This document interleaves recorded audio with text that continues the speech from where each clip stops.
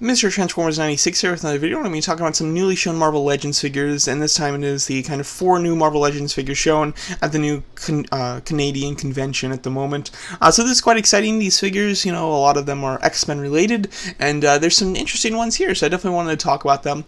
Uh, first off, we have Weapon X, which I think looks really nice. Like, this is a really good looking figure. I'm liking it quite a bit. Uh, they've been doing a lot of Wolverine figures, of course, and a lot of them are just kind of same, same. This one, though, is very unique. It's very different, which I love. First of all, the head sculpt I think looks great. I'm really loving the headpiece that's on him. I like the very dark gray that they've chosen to go with, with like a black wash to it. It looks very realistic, very comic realistic at least, and I think it looks really cool. You can obviously see his face underneath it. I would have kind of preferred him to have more of a screaming or angry teeth. I want I want to see some teeth in that facial expression. To be quite honest, uh, he's he's a little subdued here, um, but I do think that it does still look very nice. Uh, you can see the chest here. I think it's really well painted. I'm hoping in person it looks that well painted because uh, that's some fine detail and I have a feeling in person it's going to be a little bit more like just the hair's going to be like larger and a little sloppier. Um, but at least from this image, I think it looks really nice, and I like the straps; they look good.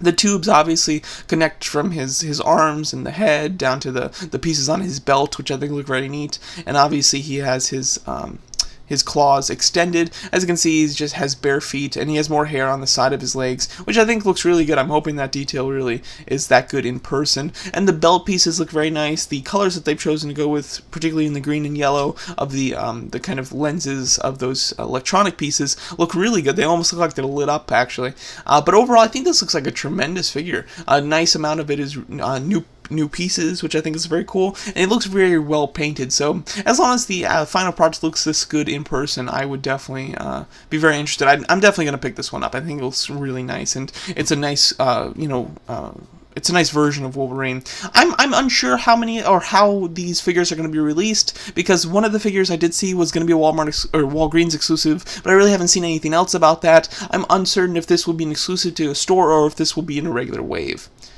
Then we have uh, the Build-A-Figure being Wendigo, uh, Wendigo, something like that. Um, I don't I don't know much about him. You know, of course I know him just based on looks, but uh, personally, character-wise, I don't know a ton about him. Personally, this is really uninteresting for me. I just I'm not a big fan of him. I never have been.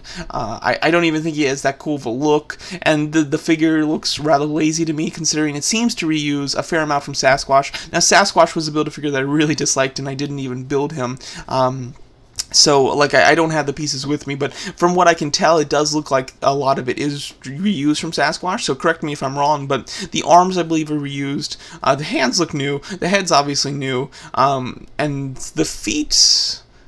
I believe the feet are new because I don't think Sasquatch had the nails like that, but the legs look the same. The tail is obviously new, um, and then this is of course unpainted. I mean, size-wise, it looks like a nice bulky Build-A-Figure, but it's just it's not a character that I particularly like, and it's not a sculpt that I think is mind-blowing or anything. So personally, I'm not a fan of this.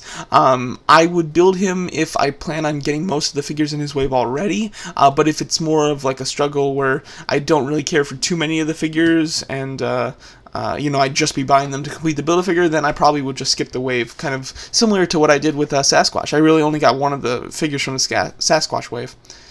Then next was Mystique. This is a character that I've been wanting them to do for the longest time, so I'm very happy that they are doing her. And the figure looks okay. The head sculpt's nice. I like the fact that her mouth is open a little bit. It's lacking uh, much expression though, and I think her hair is a little plain. To be honest, like the, the figure looks perfectly good. You know, there's nothing wrong with it. But I feel like they could have done more uh, to make it special because the character is, is so big. You know, she, she's really a, a fan favorite, um, and rightfully so. So I would have liked the figure to be a little more extreme. Uh, you know, like an interchangeable arm with her like just half transforming I think would be super fun. I think an extra head with her like really anger or angrily or sorry with an anger expression and like the hair flowing and then one head where she's smiling and it's more of a normal hair uh, you know just falling down. I think that would have been really cool but unfortunately they've gone with something a little more neutral and the figure itself is just mainly repainted. Uh, obviously the little skirt section is new and I do like the skull belt. I think that looks nice but the rest of the figure is your standard woman body sculpt and then her head is kind of plain,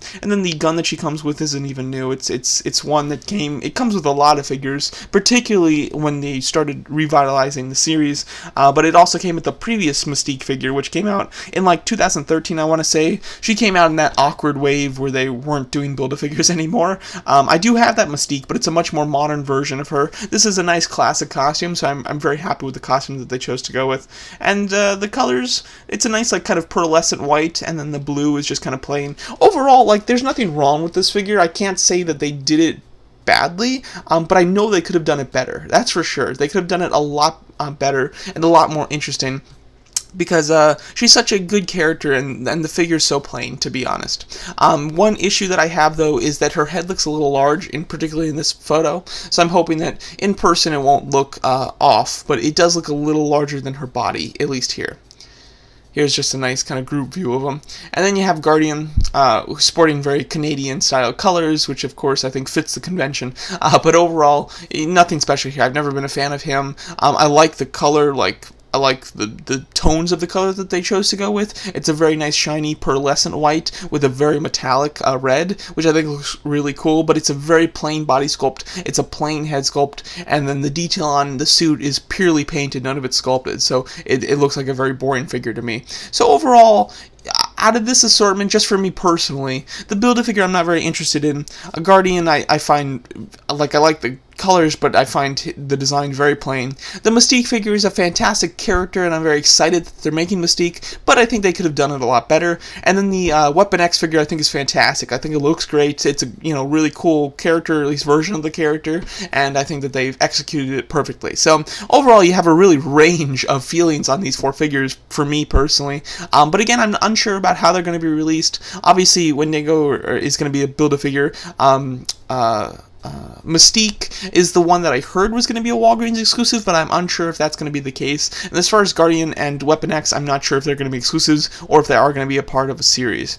But there you go, that's my thoughts on these four figures. Uh, you know, again, Weapon X looks awesome, Mystique is a great character, plain figure, Guardian is a very plain figure, and then the Build-A-Figure is nothing too special uh, character-wise for me personally, and figure-wise I think a fair amount of it's reused, which makes it a little boring as well.